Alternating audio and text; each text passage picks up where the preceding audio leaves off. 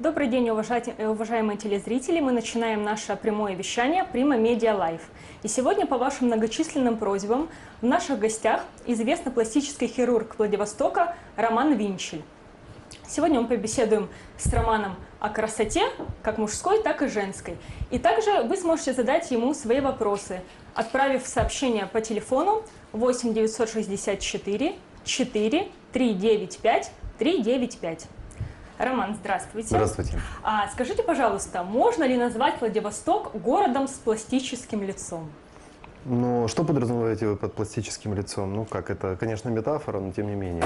Ну что, многие люди все-таки делают пластические операции и ходят, например, с пухлыми губами, может быть, с подтянутыми животами и Не, ну, дело в прочее. том, что как в любом городе России, учитывая, что на дворе 21 век, э, пластическая хирургия, она уже не является а, хирургией избранных. То есть она, в принципе, доступна каждому из нас. Вот. И что на улицах города у нас появляются люди ну, с определенным апгрейдом себя, то, безусловно, есть. Но назвать я не могу так. Потому что есть города Европы э, и, скажем так, Южной Америки, где каждый второй, третий э, оперированный. Причем это достаточно заметно. У нас пока это незаметно особо. То есть э, нельзя сказать, что у нас в городе есть жертвы пластической хирургии. Не, ну жертвы как везде есть.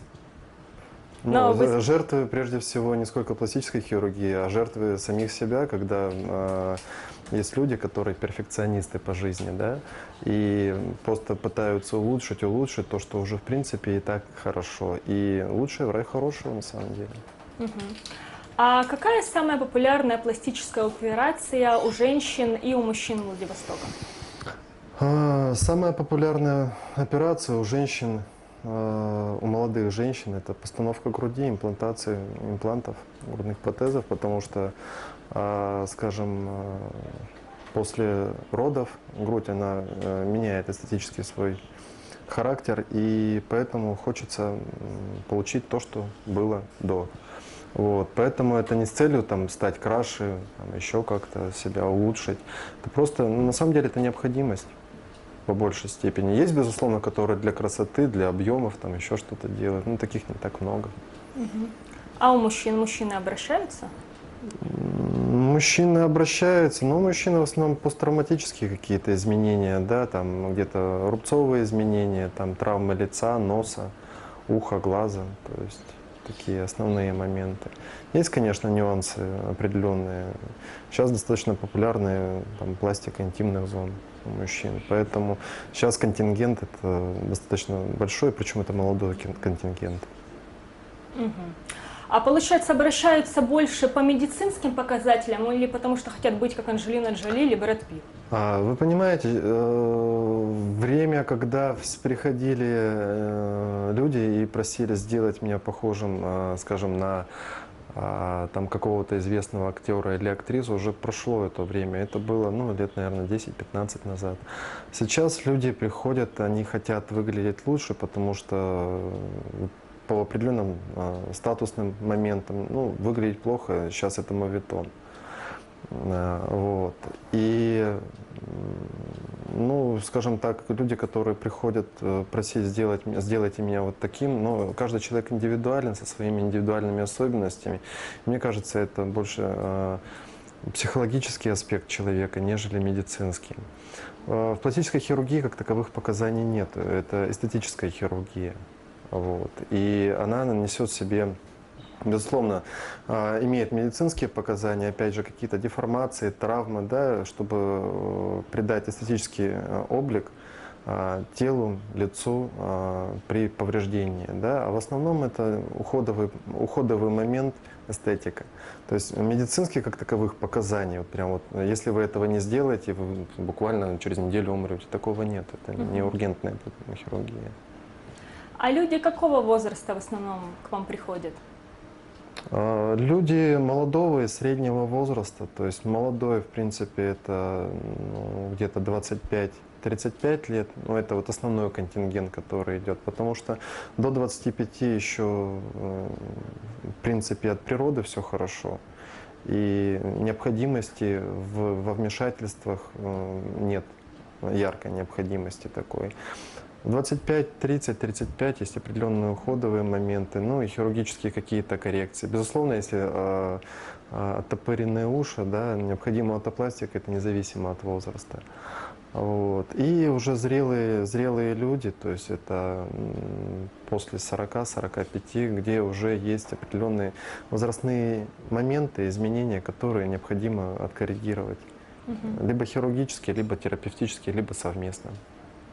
А бывало такое, чтобы приходили подростки, например, с родителями, и Да. вот мама говорит, я там хочу, Да, Да? да, приходят, но я считаю, что ну, это сугубо мое мнение, что это упущение родителей, то есть родители не, не, не имеют контакта с ребенком, и то, что мама хочет, чтобы ее дочь была моделью, ну, я считаю, модель это, конечно, хорошая профессия, но это не на всю жизнь. Делать из ребенка, мотивировать на модельную какую-то внешность, когда ребенок еще не сформирован, ну, мне кажется, это не совсем правильно. Мгм. А в таких случаях вы отказываете в операции? Да, я отказываю. Мгм. А вот у нас как раз еще сообщение по этой теме. В каких еще случаях вам приходится отказывать и почему? А, В каких случаях? А, Случаи бывают разные, но первый момент, когда человек хочет получить результат заведомо больше, чем это возможно даже при всех возможностях э, хирургии в наше время. Ну вот, когда у него, когда он отрицает возможности каких-то э, осложнений там, или еще что-то, когда человек приходит, я готов, и у меня ничего не может быть. Со всеми случается, со мной этого не может быть. Ну, беседуя, узнавая мотивацию человека, ну, конечно, приходится отказывать не часто, но отказываем все равно. А какова средняя цена пластической операции? Ведь это, мне кажется, довольно дорогое Ну, средней цены как таковой нету, это, понимаете, это средняя температура по больнице. Есть дорогие операции, есть а, относительно недорогие операции. В принципе, э, самые, э, что касается пластической операции, самое простое, ну, около 30 тысяч, в принципе, 30 30-40 тысяч – это средняя стоимость Мгм. операции. Именно пластической, не какой-то реконструктивной или какие-то там э, дефекты. Дело в том, что если говорить, допустим, о рубцовых дефектах, безусловно, это дешевле, какие-то моменты. А здесь, ну, средний прайс по городу, то есть здесь уже не, не мы диктуем, а диктует рынок. Мгм. То есть, получается, нельзя сказать, что ваши клиенты это только состоятельные люди. Вы понимаете, э, говорить о поня- понятие состоятельный человек это, ну, это понятие относительное. Да? Если брать финансово-экономическое, это одно.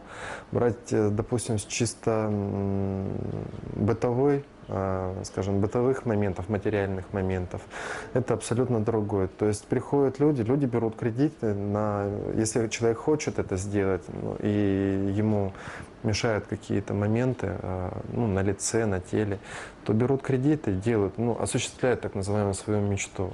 Раньше, безусловно, это была прерогатива очень состоятельных людей. И в Америке, допустим, в Европе это достаточно дорогостоящие э, операции, на несколько порядков выше, чем это стоит здесь. И в Америке, допустим, есть э, моменты, когда некоторые пациенты просто не скрывают, что они делали пластические операции, моменты вмешательств на каких-то участках, они даже как-то демонстративно это показывают, то есть показатель э, социального статуса, с одной стороны. В Латинской Америке тоже это распространено. У нас, к сожалению, ну не к сожалению, к счастью, э, это то, что э, нету этого кича. То, что вот сделали, обычно хорошо проведенная операция, это тогда, когда не видно, что была операция просто. Человек посвежел, скажем, помолодел, стал лучше выглядеть, но не видно, что он что-то с собой делал. Когда это видно, ну, ну кому как. Здесь уже говорить сложно. А среди ваших клиентов были VIP-персоны? Безусловно. А что они себе изменяли, вот если не называя имен? Ну, э, понимаете, сделать, изменить. Дело в том, что в представлении обывателя, то есть пластическая хирургия это э, изменение, радикальное какое-то изменение. На самом деле э, радикально изменять человека нет необходимости. Это, опять же, по моему мнению, человек, каждый человек неповторимый, индивидуален. То есть можно убрать какой-то недостаток, как правило, это возрастные, недо... возрастные изменения, которые, к сожалению, мы, мы не можем остановить время, которое есть. И корректировка возрастных изменений, которые придают более свежий, а, скажем так, холеный вид лица, не внося каких-то радикальных изменений, ну, там, если мы говорим о лице, да, а, то антиэйдж, скажем, операции а как долго люди восстанавливаются после операции? Сколько длится этот период по времени? Ну, в зависимости от операции, ну, где-то в среднем в течение э, двух недель, если говорить это о операциях на объемных операциях на лице, безусловно, это когда проходят синяки. Отечность и другие моменты, они э, могут держаться от, от 3 до 6 месяцев. Окончательный результат после любой операции, то есть это биологические законы, которые не отменял, после 6 месяцев. 6 месяцев и тот результат, который у вас есть после 6 месяцев, это он останется с вами на долгое-долгое время. Угу.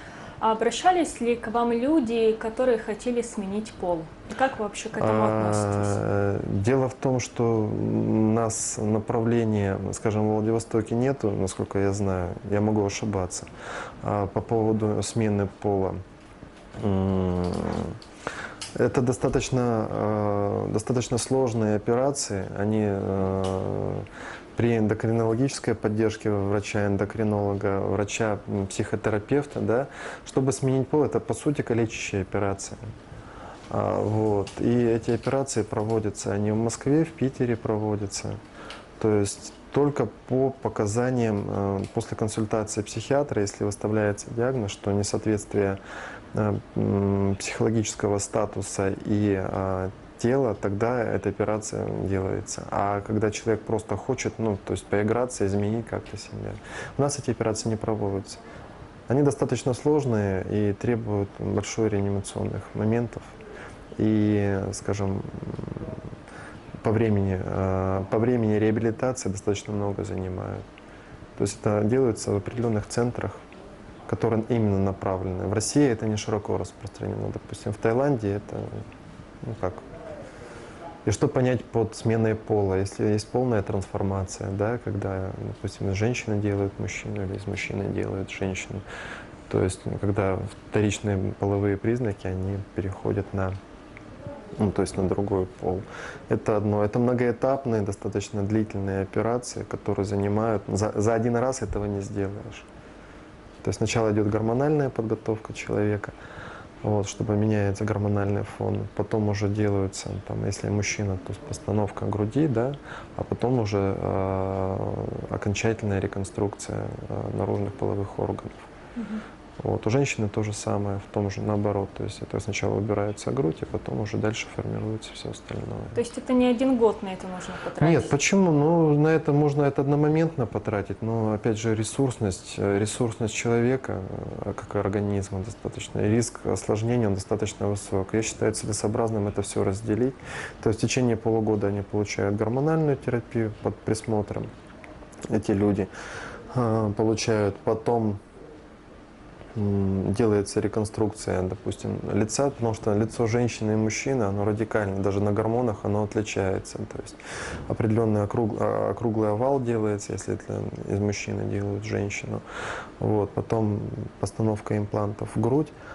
Вот. То есть фактически верхняя часть тела будет выглядеть а, мужчины, как у женщины. То есть, а уже нижнюю часть тела уже там потом дорабатывают. То есть это достаточно дорого. Но у нас есть квоты в России по этим операциям. Эти операции по показаниям медицинским, они делаются бесплатно.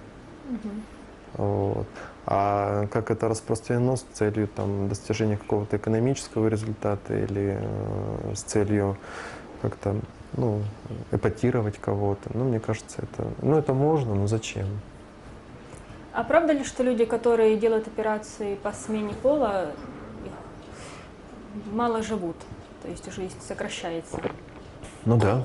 Ну это, как правда, она достаточно обоснована. А, дело в том, что Если говорить о, если сделать из мужчины красивую женщину, это можно сделать. То есть, но опять же, мужчина должен определенными параметрами соответствовать. То есть он не должен быть крупным мужчиной. Учитывая гормональную терапию и учитывая моменты определенные психологические, ну 10 лет есть принципе. Потом э, они не умирают, эти люди, от чего-то. Просто происходят э, возрастные моменты плюс эндокринологические моменты. Они стареют как женщина, если мужчину перетрансформировать в женщину. И эстетический результат через 10 лет, он э, теряется. Поэтому мы видим только молодых, скажем, молодых трансгендерных людей, которые, потому что в зрелом возрасте, да, они выглядят, они не выглядят хорошо. Вот нам тут еще одно сообщение пришло в студию от Екатерины из Владивостока. Она спрашивает, советуете ли вы начинать бороться с морщинами с первыми их появлениями при помощи пластической хирургии, ботокса и прочего? Или этого делать не стоит?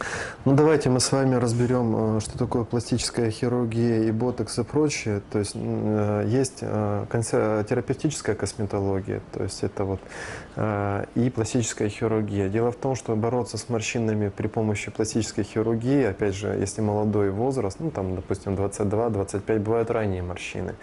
Я считаю, ну, к хирургическому вмешательству прибегать не стоит, потому что хирургия, она не носит профилактических моментов. То есть э, результат сейчас, безусловно, потом старение тканей и лица, оно будет продолжаться будет все равно видно, что возраст будет виден. А с точки зрения там, ботулотоксинов да, и филлеров, безусловно, это противопоказаний к этому нет. Есть, если есть показания, у нас э, есть моменты, когда, опять же, мы все разные, типаж лица разный, и у кого-то бывают ранние морщины, безусловно, и в 22, в 23, в 24, в 25 лет. Это не противопоказано, это можно делать. Это просто а, это ну, понятие ухода за собой, уходовые моменты. Если вы будете ухаживать за собой, скажем, с 20, там, 2, 3, 5 лет, то вы отсрочите хирургическое вмешательство на долгие-долгие годы, и даже в 50-55 лет это зрелый, хороший, активный возраст, а, скажем, а, и вы будете выглядеть хорошо без хирургического вмешательства. Если за собой не ухаживать, скажем так, запустить себя, в 50 лет будете молоды душой, но, к сожалению, тело будет выглядеть не очень хорошо. А, кстати, вот во многих журналах появляются статьи на тему «Она изменила себе форму носа и сразу же нашла мужа». Как вы думаете, пластическая хирургия помогает людям вот как-то в личной жизни нормализовать ситуацию или нет? Вы понимаете, личная жизнь на то она и личная жизнь, а, собственно говоря, она не должна а, являться достоянием общественности, это раз. А второй момент, если есть какие-то э, грубые деформации да, внешности, да, безусловно, человек станет более гармоничным, симпатичным, вот, возможно, у него появятся э, какие-то уверенность в себе появится. Это прежде всего не потому, что муж нашла мужа или не нашла мужа. Здесь вопрос уверенности человека в себе. Полюбите себя сами, такими, какими вы есть, и тогда вас полюбят тоже. То есть я не думаю, и прямой зависимости в этом я не вижу, что человек сделает себе, там женщина, мужчина сделает себе э, пластическую операцию и будет, э, скажем, счастлив или счастлива в личной жизни. Мне кажется, это, опять же, психологический момент и э, момент уверенности человека в себе. Mm-hmm. И вот, как известно, многие женщины России страдают гигантоманией, то есть ресницы должны быть большими, губы пухлыми и грудь еще больше. Вот вы, как врач, как считаете, вот у женщины какой должен быть идеальный размер груди? Понимаете, нет понятия идеального размера груди как такового. То есть для каждой женщины она индивидуальна. И опять же, как э, женщина, мужчина, все индивидуально.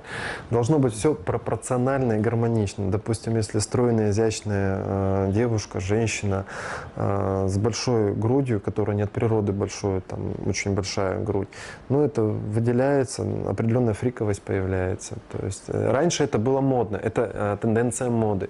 Сейчас, э, опять же, идет тенденция к естественности. Опять же, это если женщина э, крупная, большая, ей маленькая грудь не пойдет, опять же.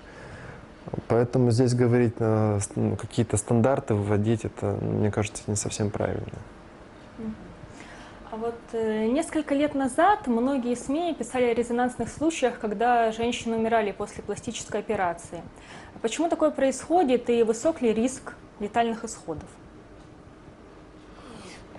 Дело в том, что, э, уважая, уважая э, СМИ, Дело в том, что не всегда э, проблема освещается правильно. Ну, даже скажу больше, она не освещается правильно. То есть она освещается односторонне. Пришла женщина за красотой, она умерла на столе. А Дело в том, что, э, во-первых, учитывая то, что женщины, которые оперируются, радикально оперируют себя, уже далеко не молоды, то есть не 18, не 20 лет. Есть определенные сопутствующие заболевания, которые есть. Вот. Есть моменты, э, которые, о которых э, человек предупреждается. Если дает согласие свое, любая операция несет за собой риски. Это же не, понимаете, это не э, уравнение решить и получить заведомо, заведомый результат. Вот. Дело в том, что, как правило, смерти связаны с, по сопутствующим заболеваниям. От хирургии сложно умереть. Это, как правило, либо инфаркты, либо какие-то сердечные э, дела, которые запущены. Вот. Ну, риски, они, безусловно, есть, поэтому перед операцией все сдают анализы, чтобы снизить эти риски. Ну а другие вы можете даже пойти к стоматологу, сделать, сделать зуб и благополучно на анестет... получить реакцию на анестетик и отправиться в мир иной. То есть э, четкую корреляцию по этому поводу делать, ну, мне кажется, это неправильно. И либо это с точки зрения поднять рейтинг, да, ну, там, программы, э, издания, либо просто не совсем осведомленность в данном вопросе. То есть каждый случай, понимаете, если бы это было так легко, ну подумаешь, пришел и умер. Ну, пришел, ну ладно, ничего за это не сделали. Понимаете, каждый медицинский случай, он разбирается, почему это произошло. И, безусловно, если виноваты в этом врачи, они несут наказание. То есть мы несем и как уголовную, так и административную ответственность за то, что мы делаем. Поэтому здесь. Сейчас у многих СМИ муссируется тема с операцией, которую сделала Анджелина Джоли. Вот как вы оцениваете ее поступок? Э, я положительно оцениваю поступок. И дело в том, что это на, на данный момент это относится к высоким технологиям. И мы можем на генетическом уровне прогнозировать развитие рака молочной железы.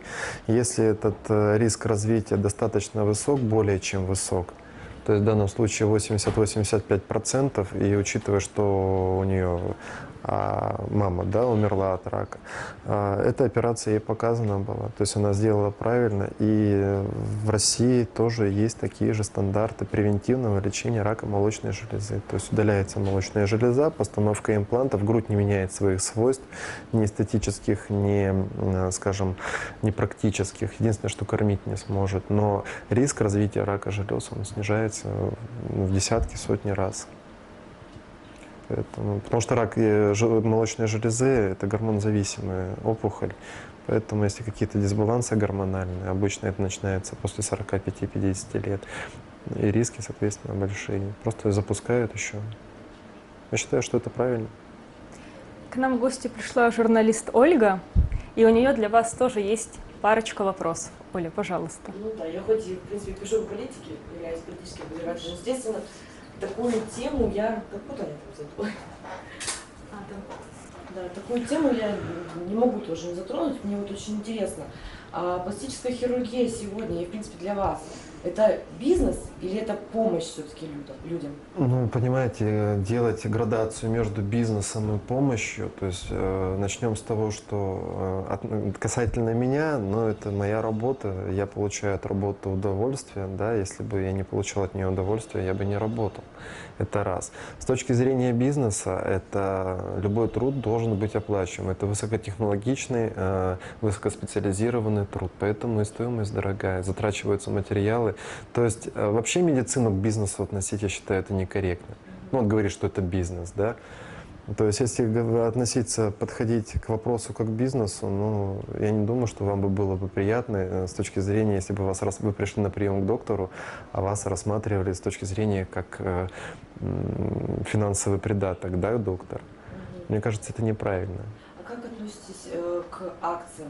Бывает, проходит, э, не- ну, некоторые клиники проводят акции, допустим, а, месяц или там неделя бесплатной установки там, имплантов. например, Ну, не, ну я вас Ну понял, да, я вас услышал здесь. Потому что вообще, по идее, это же, э, как-то понимаю, что пиар-ход, но насколько он качественный вообще? Нет, это абсолютно, это пиар-ход, это абсолютно качественно. А, То есть здесь э, с точки зрения предоставления услуги пациент, клиент абсолютно ничем не рискует. Просто, ну как, в спортзалах тоже бывают э, акции, то есть в магазинах бывают Ну, в акции. спортзале там, получается, затраты изначально небольшие. То есть, например, аренда сама, и там, ну, все это дело, да, а когда, допустим, ты человеку опять же, допустим, импланты, либо еще что-то. Не, ну, с- понимаете, Сам материал акция- изначально акция- не- не, дешевый. Акция это она не может быть дороже, это же экономисты просчитывают, не я же их провожу акции. Экономисты, безусловно, просчитывают да, экономические моменты. Любая акция нанесет себе экономический потенциал в любом случае. Я имею в виду э, опосредованный, отдаленный, но тем не менее. То есть. Поэтому здесь э, я положительно к этому У отношусь. меня еще один такой вопрос. Я вот обратила внимание, знаю, пока ну, вот вас увидела, пластического хирурга, знаю еще одного, у нас участвовал интернет конференции Сергей Васильевич Машак. Мгм. А, прекрасно выглядите, что вы, что Сергей Васильевич. Я прям удивляюсь, то есть вот как может мужчина так прекрасно выглядеть. Это тоже может быть какие-то пластические моменты или все-таки у вас э, определенный образ жизни? Нет, ну, это, безусловно, определенный образ жизни, да, вот, ну, в передачах тоже Чего? Ну, давайте будем рассказывать о правильном питании, занятии спортом, да. Ну, в принципе, это просто уходовый момент за собой. То есть здесь, э, мне кажется, это может позволить себе каждый. То есть никакой пластики? Нет. А должна быть? Не обязательно. Нет, ну, абсолютно нет. То есть здесь момент чисто такой, ну, уходовый момент. То есть лица разные, и если за собой не следить, независимо от того, там, мужчина, женщина, то есть бывают и ровесни, э, ровесницы, и ровесницы, ну, то есть выглядят очень печально. Здесь это как человек следит за собой, не более. Ну, Ну, любить себя надо прежде всего. Давайте еще несколько еще вопросов, если Ольга не против. хотела спросить. А, буквально в понедельник диетолог была у нас в гостях, и она говорила о том, что липосакция а, чревата тем, что человек начинает стареть. Так ли это? И вообще, в принципе, а, когда к вам человек приходит и просит, скачайте, пожалуйста, мне пару килограммов жира, а, вы его сначала, может быть, в зал отправляете или сразу же беретесь? Вы понимаете, здесь дело в том, что у нас в России неправильно понимается понятие липосакция. Дело в том, что липосакция – это контурная пластика тела. То есть убираются какие-то неровности. Это не метод похудения ни в коем случае.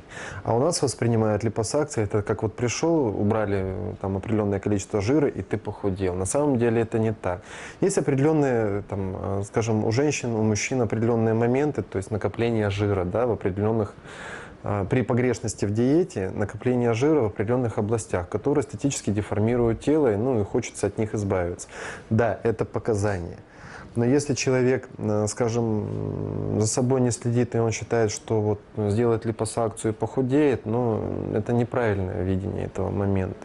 И, безусловно, прежде чем э, человек должен решаться на липосакцию, он должен находиться в стабильном весе минимум 2-3 года а, в стабильном весе, ну, независимо какой вес, но стабильный вес. Потому что, а учитывая то, что у нас э, девушки очень часто, да и мужчины тоже сидят на диетах, то они толстеют, то они худеют, поправляются, вот эти вот гуляния этого веса, оно ни к чему хорошему не приводит. И, безусловно, для этого необходимо правильное и рациональное питание прежде всего, ну и адекватная физическая нагрузка. Если вы будете лежать на диване и есть э, плюшки, ну, о о какой липосакции может быть речь вообще? Поэтому здесь уже... А вот насчет старения организма, это есть возможность? Это вопрос дискутабельный, безусловно. Насчет старения я бы не согласился. Есть, понимаете, если за- заходить в медицинские дебри, дебри, я отдаленно согласен с этим. Но поскольку не будем мы об этом сейчас говорить, здесь э, это вопрос дискутабельный. Я не могу однозначно вам сказать, что это да, это так. Безусловно, определенные моменты есть, но что стареет откровенно, не, не могу такого сказать вам. Спасибо, я являюсь. Ольга, спасибо за ваши вопросы. Спасибо. Мы напоминаем телезрителям, что задать вопрос нашему гостю можно по телефону 8 964 4 395 395. И, кстати, нам уже пришел один из таких вопросов. Пишет девушка из Владивостока. Хочу увеличить себе грудь. Сколько времени в среднем пройдет от того, как я пришла на первый прием для осуществления моей мечты? Сколько времени уйдет на анализы и консультации? Ну, достаточно 12, 10-12 дней. То есть это повсеместная практика или в вашей клинике? Ну, в нашей клинике, то есть дело в том, что импланты, они подбираются исключительно индивидуально.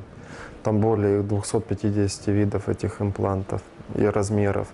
Индивидуально проводятся замеры, подбор импланта, и он уже индивидуально заказывается, эти импланты через дистрибьюторов заказываются под конкретного человека. Плюс анализы, ну, в принципе, вот такой вот неделя. Ну, это 7 рабочих дней, то есть мы убираем выходные отсюда, да, поскольку ну, выходные э, ни одни предприятия не работают. Я имею в виду, э, скажем, в Москве или еще что-то. Анализы, анализы 3-4 дня. Ну, если прийти и пройти их. Трех дней достаточно будет. А какие материалы используют для имплантов? Это медицинский силикон. Медицинский силикон, то есть это компании множество, всего два завода в мире стоит, которые выпускают медицинский силикон. Другой момент раскрученности имплантов и заполнения, каким гелем заполняется он.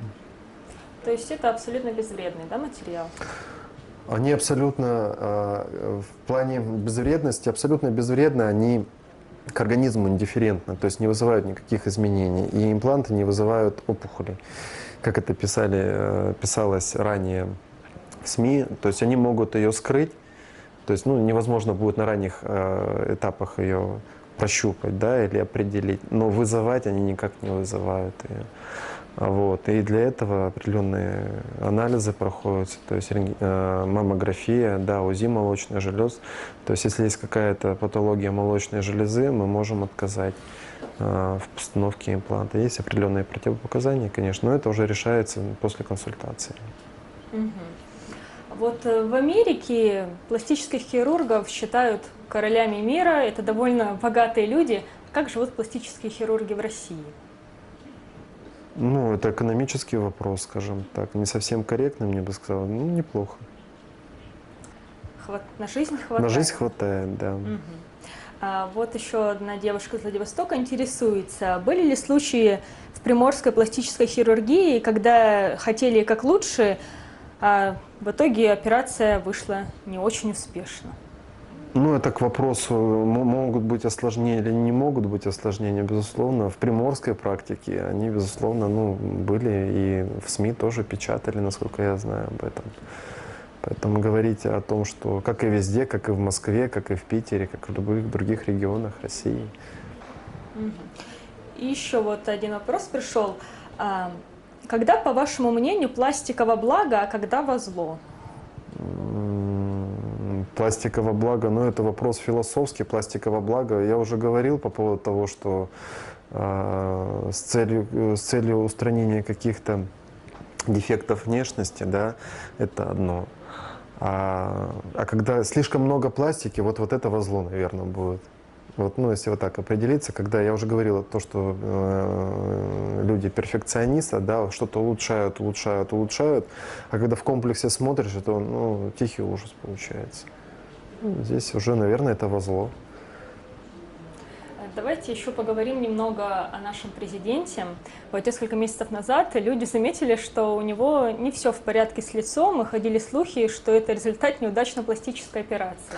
Ну, дело в том, что это вопрос достаточно щекотливый. Давайте мы не будем обсуждать президента. Хорошо. Тогда еще один вопрос от наших читателей. А, они спрашивают про образ жизни после операции на груди. Можно ли таскать тяжести, летать на самолете с имплантами? Летать на самолете с имплантами можно, таскать тяжести в течение полутора месяцев нельзя. А, а потом... а дальше, как хотите, что хотите, то и делайте, в принципе. Угу. Это тоже абсолютно безопасно, абсолютно. Они, э, импланты, современные импланты, не рвутся, не лопаются, не протекают. То есть они э, устанавливаются пожизненно. есть и срока годности у них никакого нет. То Нет, они не Нет, это импланты, старые импланты, скажем, 20-летние, 15-летние, даже уже не 15-20-летней давности, они требовали а, замены через какое-то время. Менялась текстура геля. Сейчас а, фирмы, производители дают пожизненную гарантию, и если по каким-то причинам ну, какой-то э, брак данного девайса есть, то устанавливает, то есть это идет просто за счет фирмы производителя замены, да. Были недавно, скандал, конечно, был недавно, года два назад, полтора, по поводу имплантов, качественных, некачественных, там что-то. Ну, фирма партию, а, партию имплантов, это в Москве было, партию имплантов отозвали просто. То есть и экономическую нагрузку понесла фирма-производитель, но не потребитель. Ну, а там же еще моральный аспект. А тоже. Это все было выплачено. То есть это все было решено полюбовно. Эти моменты. А что бы вы посоветовали людям, которые еще не сделали пластическую операцию, но хотят это сделать? Ну, это сложно сказать, что можно, как можно посоветовать, что если человек хочет, он это сделает рано или поздно. То есть взвесить все за и против, и насколько нужна им эта операция, насколько это необходимо для них психологически, необходимо для, скажем, для работы, необходимо для всего. Ну, здесь каждый решает. Э, Все наши э, моменты, врачебные моменты, носят консультативный характер а, и не носят, э, скажем, ни к чему не обязывают.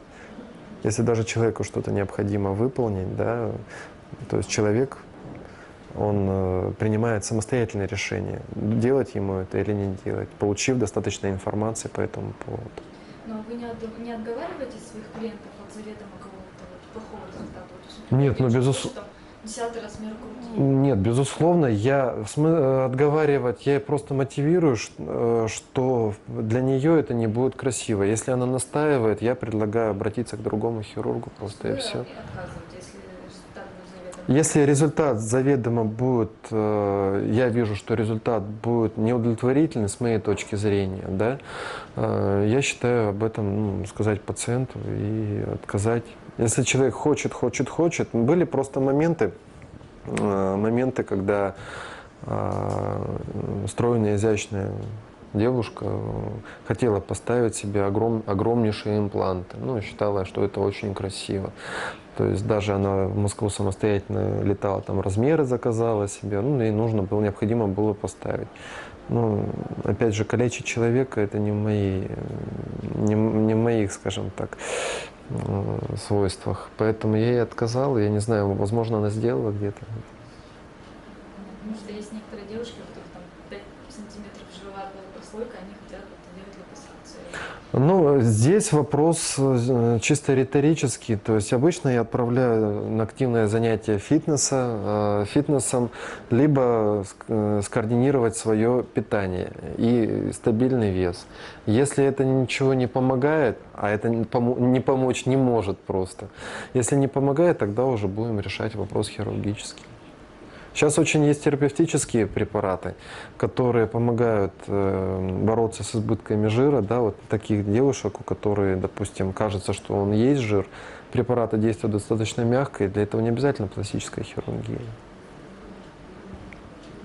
А, Вы работаете с людьми, которые стремятся к совершенству в чем-то, да, вот к совершенству своей внешности. А вот для вас в чем заключается красота человека? В гармоничности.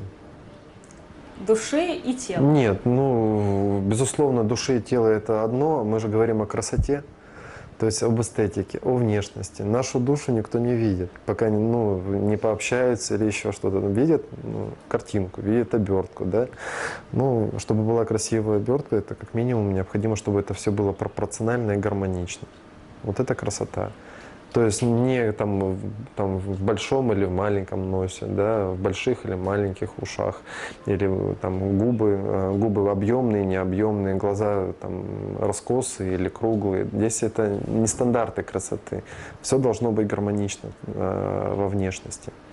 Вот. А уже о человеческих, о душевных качествах, ну, мне кажется, не мне судить об этом. У вас есть вообще идеал женской мужской красоты на примере, может быть? Вы знаете, безусловно, есть э, красивые, э, красивые красивые знаменитости, то есть мужчина, женщина, но они красивы, каждый красив по-своему. То есть красота – это ну, понятие относительное, то, что считает большинство красивым, это на данный момент считается Ну, красивым. лично для вас идеал, мне кажется, интересно. Не сотвори себе кумира. Идеалов нет. Идеалов нету, везде есть нюансы, которые можно. Человек э, гармоничный, человек красив, да, это красив, но искать недостатки в человеке, ну, идеалов нет. Ну, никто не идеален, даже кра- красивые знаменитости, то есть и прочее. Нету идеалов в жизни, и поэтому здесь сложно о чем-то говорить. У нас еще один вопрос. А, В Бразилии пластическая хирургия очень распространена. Ее делают даже бедные люди. Продают дома, берут кредиты. А у нас были ли такие случаи, когда люди кладут все на алтарь красоты? Ну, В Владивостоке, не знаю, в Москве, да. Были моменты. То, что берут кредиты, я уже об этом говорил, что берут кредиты, ну, хотят получить определенный результат эстетически, берут кредиты. Чтобы положить все, мне кажется, ну, красота этого не стоит. То есть в любом случае м, красота это красота, это, это временно. С возрастом она уходит, то есть человек становится более ну, там, приятный, да. А говорить о той пышущей юной красоте, ну, это период очень, ну, 10, 15, 20 лет от силы. И все. Потом просто человек должен быть эм, как, ну, приятен в общении, то есть в нем должно быть все согласно определенным э, возрастом, да, во- возрасту определенному, да, он должен быть просто ухожен. Все. А говорить о красоте, красота, м, некоторые, допустим, женщины э, с возрастом, они становятся более э, красивыми, то есть они расцветают к зрелому возрасту. Вот это в юности они были ну, средние, ну, без определенных каких-то моментов, то есть ну, обычные симпатичные девушки. Вот. А, скажем, с возрастом они расцветают. Бывает наоборот. Но тем не менее, человек должен быть ухожен и гармоничен. А говорить о красоте, ну, это эфемерное понятие, у каждого своя она красота. Спасибо, дорогие телезрители, спасибо вам, Роман. Напоминаем, что это был прямой эфир Prima Media Live. У нас в гостях был известный пластический хирург Владивостока Роман Винчель. Спасибо за внимание. До свидания.